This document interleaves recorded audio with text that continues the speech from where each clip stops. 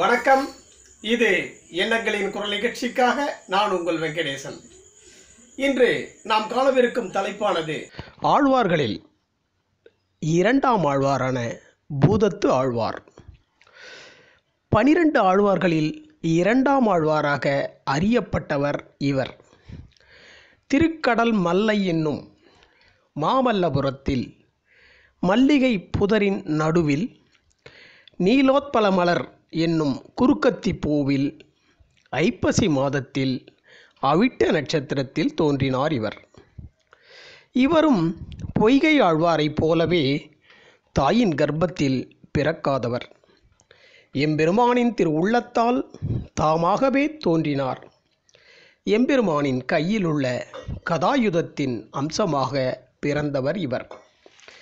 பகவானின் திரு அழகையும் பண்புகளையும் மனதில் நிறுத்தி பகவானுக்கே சதா தொண்டு செய்து வந்தார் இவர். இவரது உடலானது பஞ்சபூதங்களால் ஆனது என்பதனாலும் ஒட்டுமொத்தமாக பார்த்தால் பூதமே நமது உடல் என்பதால் அந்த ஐந்து பூதங்களின் சேர்க்கையே உடலாக இருக்கின்றது. இந்த நடமாடும் இந்த உடலானது பூதங்களின் தொகுப்பு அதனால் தன்னை பூதம் என்றே அழைத்து பூதத்து ஆழ்வாராக இவர் கருதப்பட்டார். ஆழ்வார்கள் பன்னிருவரில் முதல் மூவர் ஒன்றிணைந்து திருக்கோயிலூரில் மழைக்காக குடிலில் தங்கி பாடிய பாசுரங்களே முதல் இரண்டு மூன்று அந்தாதிகளாக நாலாயிர திவ்ய பிரபந்தத்தில் அமைந்துள்ளது. பூதத்து ஆழ்வாரும் நூறு பாடல்களை அந்தாதிகளாக பாடியுள்ளார். அவைகள் பிறவிப் பிணியை எவ்வாறு நீக்குவது எம்பெருமானை எவ்வாறு அடைவது என்று இவரது பாசுரங்கள் அழகாக தெளிவாக வலியுறுத்துகின்றன. அத்துடன் இவர் பல்வேறு கஷேத்திரங்களுக்கு சென்று திவ்ய தேசங்களை தரிசிக்க அவைகள் பதிமூன்றாக உள்ளது. திருப்பார்க்கடல் திருவேங்கடம் திருக்கடல் மல்லை திருநீர்மலை திருப்பாடகம் திருக்கோவிலூர் திருக்கச்சி என்னும் காஞ்சிபுரம் திருமாலிருஞ்சோலை திருக்கோட்டியூர் திருத்தன்காள் திருக்குடந்தை தஞ்சை மாமணி கோயில் திருவரங்கம் என்னும் ஸ்ரீரங்கம் ஆகியவை. இவர் நூற்றி எட்டு திவ்ய தேசங்களில் நடைபயணமாகவோ சென்று அவர் பல்வேறு பாடல்களை பாடியுள்ளார். இவர் பாடிய முதல் அந்தாதியானது அன்பே தகலி ஆர்வமே நெய்யாக இன்புரு சிந்தை இடுதிரியா நண்புருகி ஞாடச் சுடர் விளக்கேற்றினேன் நாரணர்க்கு ஞானத்தமிழ் புரிந்த நான் என்று இவர் முதல் அந்தாதியை துவக்கினார். இங்கே இவர் என்ன சொல்ல வருகிறார்? பொய்கையாழ்வார் கடலை நெய்யாகவும் பூமியை அதாவது வையகத்தை அகலாகவும் சூரியனை ஒளியான தீபமாகவும் நினைத்து பாடினார். அதையே இவர் சற்று மாற்றி அன்பை அகலாகவும் ஆர்வத்தை நெய்யாகவும் இன்புறு சிந்தை நம் இன்புற்று இருக்கும் இறைவனை நினைத்து இன்புற்று இருக்கும் நமது மனமானது இடுதிரியாக என்று இவர் ஞானச்சுடர் விளக்கு ஏற்றினேன் என்று நாரணர்க்காக என்று இப்பாடலை பாடியுள்ளார்.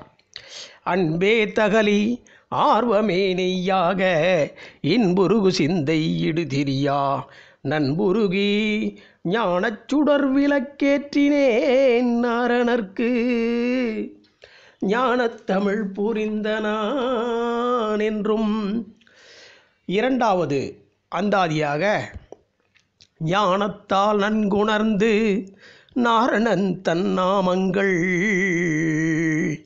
தானத்தால் மற்றவன் பேர் சாற்றினால் வானத்தனியமரராக்குவிக்கும் அக்தன்றே நாங்கள் பனியமரர் கோமான் பரிசு. இவ்வாறாக இனிதன்பர் காமம் அதனிலும் மாற்ற இனிதென்பர் தண்ணீரும் எந்தாய். இனிதென்று காமநீர் வேலாது நின் பெருமை வேட்பரேல். சேமநீராகும் சிறிது. ஆசை எனும் காமத்தை இனிது என்று நாம் வாழ்ந்து கொண்டிருக்கின்றோம். இனிது என்பர் காமம். அதையே நாம் இறைவனின் மீது நாம் நமது சிந்தையை திருப்பினோம் என்றால் சேம நீராகும் கொஞ்சமேனும் என்பதே இங்கே அவர் சொல்ல வருவது. சிறியார் பெருமை சிறிதின் கண் எய்தும். அறியாரும் தாம் அறியாராவர். அறியாமை மண் கொண்டு மண் உண்டு மண்ணும். உமிழ்ந்தமாயனென்று என் கொண்டு என் நெஞ்சே இரு.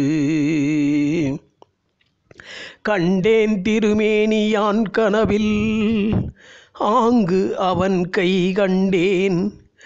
கனலும் சுடராழி கண்டேன். ஒரு நோய் வினை இரண்டும் ஓட்டுவித்து பின்னும் மறுநோய் செருவான் வலி. இவ்வாறு கொண்டு வளர்க்க குழவியாய்த்தான் வளர்ந்தது. உண்டது உலகேழும் உள் ஒடுங்க. கொண்டு குடமாடி கோவலரை மேவி என் நெஞ்சம் இடமாகிக் கொண்ட இறை. பிள்ளையா கொண்டு வந்து அவரை ஆயர்பாடியில் வளர்க்குறாங்க.